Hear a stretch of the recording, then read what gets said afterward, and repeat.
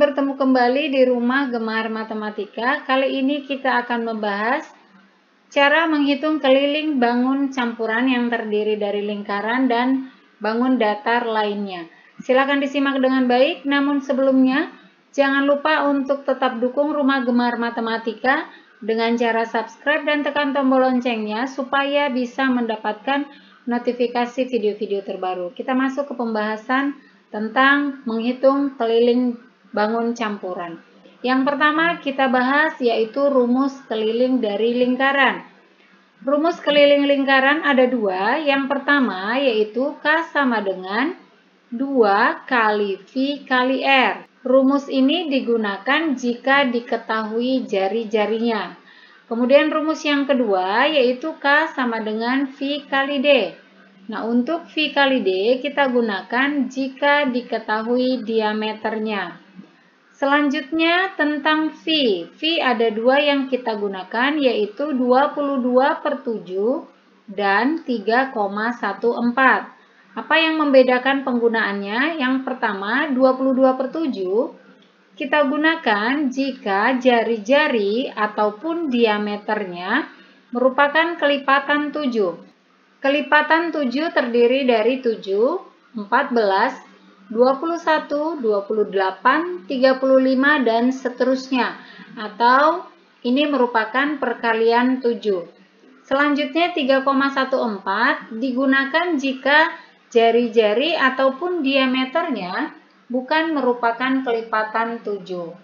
Selanjutnya kita masuk ke contoh pembahasan soal. Perhatikan di sini sudah ada gambar sebuah bangun datar campuran yang terdiri dari lingkaran atau setengah lingkaran dan juga persegi panjang. Jika kedua bangun ini kita pisah, maka bentuknya akan seperti ini. Yang pertama yaitu setengah lingkaran dan yang kedua yaitu bentuk persegi panjang. Yang pertama, kita akan menghitung keliling dari setengah lingkaran. Perhatikan lingkarannya diketahui yaitu diameternya 14 cm. Karena lingkaran tersebut atau setengah lingkaran tersebut diketahui diameter, maka rumus yang kita gunakan yaitu V kali D. Karena ini setengah lingkaran, maka di depannya tambahkan setengah atau 1 per 2 ya. Jadi jika lingkarannya lingkaran utuh, maka rumusnya hanya V kali D. Karena ini setengah lingkaran, maka di depan kita tambahkan setengah. Kita ikuti rumusnya, K sama dengan setengah, setengahnya tetap ya, dikali V. V-nya tadi ada dua, yang pertama 22 per 7 dan yang kedua 3,14. Perhatikan diameternya adalah 14. 14 merupakan kelipatan 7 sehingga V-nya kita gunakan yaitu 22 per 7 dikali diameternya 14. Ini bisa kita bagi 14 dibagi 7 sama dengan 2. Kemudian ini juga bisa dibagi, 22 dibagi 2 sama dengan 11. Kita tinggal kalikan 1 dikali 11 dikali 2, hasilnya sama dengan 22. Untuk di bawah sudah tidak ada lagi, maka keliling setengah lingkaran tersebut adalah 22 cm. Selanjutnya kita akan menghitung keliling dari persegi panjang. Untuk kelilingnya, rumus yang kita gunakan untuk keliling persegi panjang adalah 2 kali panjang tambah lebar. Selanjutnya kita hitung K sama dengan 2 kali, karena di sini 2 kali ya, tinggal turunkan saja. Panjang, panjangnya adalah 14, kemudian lebarnya adalah 10. Kita hitung yang di dalam kurung terlebih dahulu ya. Berarti kita tuliskan kembali 2 dikali 14 tambah 10 sama dengan 24. 2 kali 24 sama dengan 48. Maka keliling persegi panjang tersebut adalah 48 cm. Selanjutnya kita akan menghitung keliling secara keseluruhan. Kita jumlahkan keliling lingkaran dan keliling persegi panjang. Atau keliling A ditambah keliling B. Kita mulai dari persegi panjang yaitu 48 cm. Ditambah keliling lingkaran yaitu 22 cm. 48 ditambah 22 hasilnya sama dengan 70. Maka keliling bangun tersebut keseluruhan adalah 70 cm. Masuk ke contoh soal yang kedua, perhatikan gambarnya. Ini adalah gambar campuran antara lingkaran atau setengah lingkaran dengan segitiga. Jika kita pisah, maka bentuknya akan seperti ini, yaitu segitiga dan juga setengah lingkaran. Pertama kita hitung, kita mulai dari segitiga. Untuk menghitung keliling segitiga, yaitu sisi ditambah sisi ditambah sisi. Maka kita tambahkan 10 ditambah 8 ditambah 8. Karena ini kanan dan kiri pasti sama ya, ukurannya 8 cm. 10 ditambah 8 ditambah 8 hasilnya sama dengan 26. Maka keliling segitiga tersebut adalah 26 cm. Sekarang kita akan hitung keliling setengah lingkaran. Rumusnya masih sama yaitu setengah dikali V dikali D, karena di sini yang diketahui diameternya.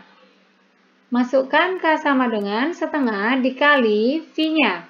V yang kita gunakan adalah 3,14. Mengapa 3,14? Karena 10 bukan merupakan kelipatan 7 ya. Jika kelipatan 7 yang kita gunakan adalah 22 per 7. Selanjutnya kita kalikan dengan diameternya yaitu 10 cm. Kita bagi ini bisa 10 dibagi 2, hasilnya sama dengan 5. 1 dikali 3,14 dikali 5, hasilnya sama dengan 15,7. Sudah kita dapatkan keliling lingkaran, sekarang kita akan menghitung keliling secara keseluruhan, yaitu dengan menjumlahkan bangun A dan juga bangun B. Kita mulai dengan bangun dari segitiga, yaitu 26 cm, ditambah dengan keliling lingkaran yaitu 15,7. 26 ditambah 15,7 hasilnya sama dengan 41,7.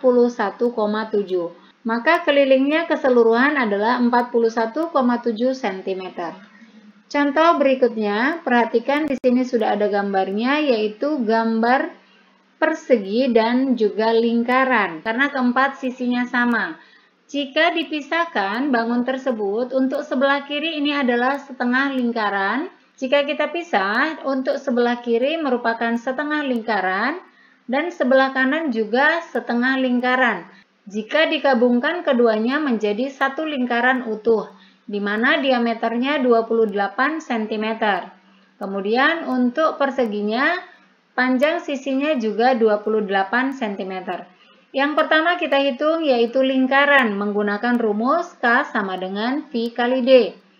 Masukkan V-nya yaitu 22 per 7 karena 28 ini adalah kelipatan 7 dikali dengan 28. Kita bagi 28 dibagi 7 hasilnya sama dengan 4.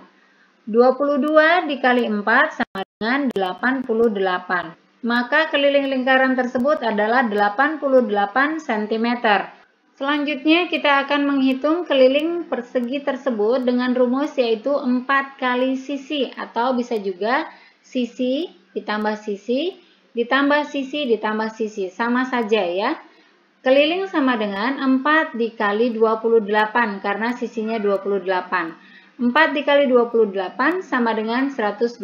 Maka keliling persegi tersebut adalah 112 cm. Untuk menghitung keseluruhan, kita jumlahkan keliling bangun A dan keliling bangun B. Keliling bangun A yaitu 88 cm ditambah B 112 cm. 88 ditambah 112 hasilnya sama dengan 200. Maka keliling keseluruhan adalah 200 cm. Demikian pembahasan kita kali ini yaitu cara menghitung bangun campuran. Mudah-mudahan bisa bermanfaat. Terima kasih dan sampai jumpa.